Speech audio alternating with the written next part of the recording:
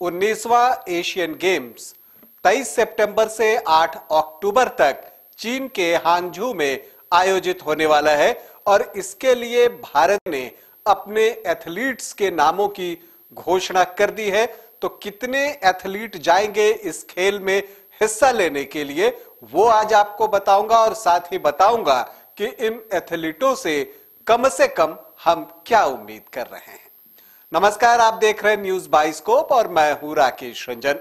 Asian Games 23 सितंबर से शुरू होने जा रहा है। हांगजू में हालाँकि कुछ खेल जो हैं, वो पहले शुरू हो जाएँगे, लेकिन जो उसका आरंभ होगा, वो 23 सितंबर से होगा।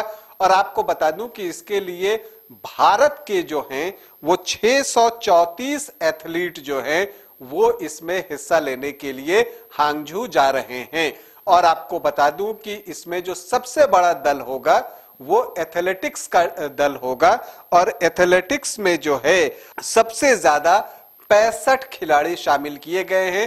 पैंसठ एथलीट जो है एथलेटिक्स की स्पर्धा में हिस्सा लेंगे। एशियन गेम्स में जो भारतीय जो 634 खिलाड़ी हैं, वो 38 खेलों में हिस्सा लेंगे 38 खेल स्पर्धाएँ होंगी और उसमें भारतीय खिलाड़ी जो है अपना दावा ठोकेंगे स्वर्ण पदक जीतने के लिए। आपको बता दूँ कि ये सबसे बड़ा दल है आज तक का भारत का और आपको यह भी बता दूँ कि जो इंडियन ओलंपिक एसोसिएशन है, उसने जो है 850 एथलीट को रिकमेंड किया था। लेकिन जो ministry of youth affairs and sports है, उसने जो है 634 एथलीटों के नाम जो है वो सैंक्शन किए हैं।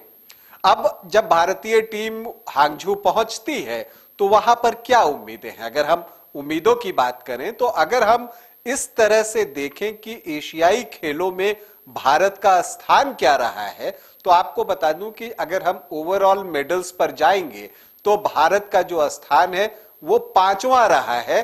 तो इस बार जो भारत के लिए सबसे बड़ी चुनौती है, वो ये है कि वो कम से कम टॉप फाइव में तो शामिल हो, क्योंकि जो पिछला जो आपको जकार्ता में जो एशियन गेम्स हुआ था 2018 में, वहाँ भारत ने अब तक का अपना बेस्ट प्रदर्शन तो किया था, लेकिन जो रैंक का मामला है, वहाँ पर भारतीय टीम जो है वो पिछड़ गई थी और आठवें रैंक पर चली गई थी।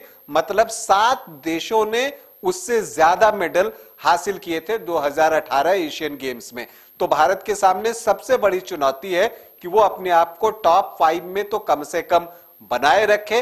वैसे हम सभी की कामना है कि वो टॉप थ्री में रहे तो इससे बेहतर कुछ नहीं हो सकता। लेकिन ये बात भी है कि एशियन गेम्स में चीन, जापान, दक्षिण कोरिया जैसे देश हैं जो तगड़ी चुनौती पेश करते हैं। और चीन की जहाँ तक बात है, उसका वर्चस्व हो रहा है।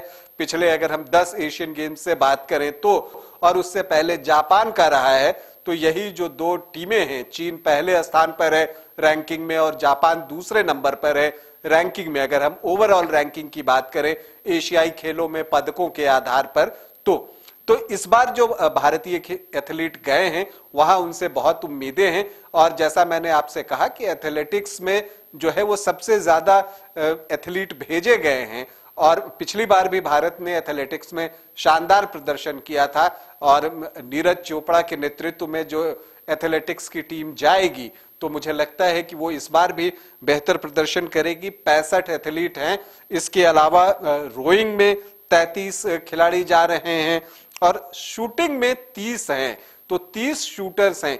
तो पदकों पर कितने शूटर्स निशाना लगाते हैं, इस पर भी जो है हमारी नज़रें बनी रहेंगी। हालाँकि वेट लिफ्टिंग में सिर्फ़ दो जो है वेट लिफ्टर गए हैं, उनसे भी पदक की उम्मीद है। मीराबाई चानू वहाँ पर होंगी। उनसे भी पदक की उम्मीद है। इसके अलावा रेसलिंग हमेशा से भारत का मज़बूत पक्ष रहा है एशियन गेम्स में। उसमें पदक की उम्मीद है। कबड्डी में भारत का वर्चस्व रहा है और अगर हम कबड्डी में ओवरऑल रैंकिंग की बात करें तो भारत एकमात्र यही एक स्पर्धा है जिसमें रैंक में नंबर वन है। तो हम उम्मीद करते हैं कि कबड्डी में भारत इस बार स्वर्ण पदक जीतेगा, क्योंकि 2018 में जो पुरुष कबड्डी टीम है, वो फाइनल में ईरान से हार गई थी तो उस हार का हिसाब चुकता करेगी भारत की कबड्डी टीम और इस बार फिर से गोल्ड जीतेगी। क्रिकेट शामिल हुआ है, उससे बहुत सारी उम्मीदें हैं। भारतीय क्रिकेट टीम से हॉकी में भारत पूरे एशिया में नंबर वन रैंक की टीम है। सबसे ज़्यादा जो रैंकिंग है, वो भारत की ही है, सबसे अच्छी। तो वहाँ पर भी हम गोल्ड की उम्मीद कर रहे हैं, पुरुष हॉकी में।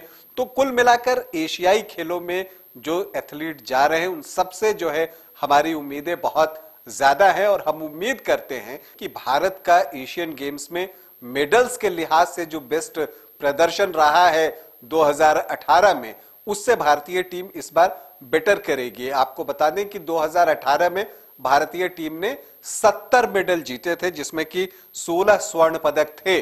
तो हम इस बार उम्मीद कर रहे हैं कि स्वर्ण पदकों की जो संख्या है, वो 20 से ज़्यादा हो, और यही हम कामना भी करते हैं। और भारतीय खिलाड़ियों में वो दमखम है।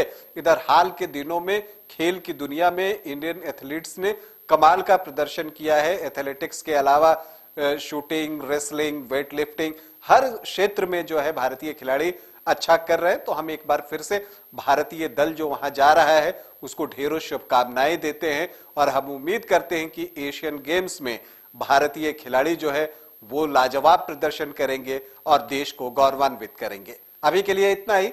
इजाज़त दे। नमस्कार।